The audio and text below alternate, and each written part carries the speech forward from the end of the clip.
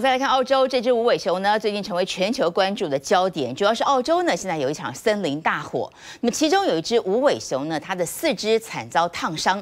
我们就看到这个澳洲的兽医呢，要抢救它，于是就像这样，其实它已经昏迷了，把它呢这个呃四仰八叉的，它是趴着，四肢浸泡在药水里面。当时它躺成一个大字形，可爱的模样，让大家看了以后觉得很奇特，也为它感到不舍。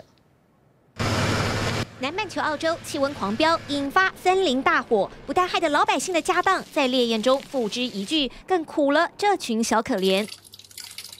口干舌燥的野生无尾熊，顾不得人类就在眼前，先牛饮再说。更惨的是，这只被烫伤的无尾熊在厚毛巾上躺成大字形，痛到昏迷不醒。What is Jeremy soaking in?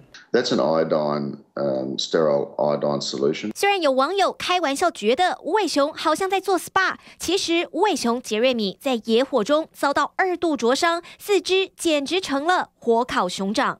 Vigorously scrub that removed all that dead tissue. 死里逃生的动物们有苦说不出。这只焦黑的无尾熊第一时间在打火兄弟怀中猛喝水，不难想象小动物们所历经的浩劫。而四只泡点酒的无尾熊杰瑞米更在网络上爆红。Jeremy woke up feeling better. 只是澳洲气温居高不下，大火难以全部扑灭。等到杰瑞米伤好了，该不该回到大自然的家，恐怕还有待专家进一步观察。记者综合报道。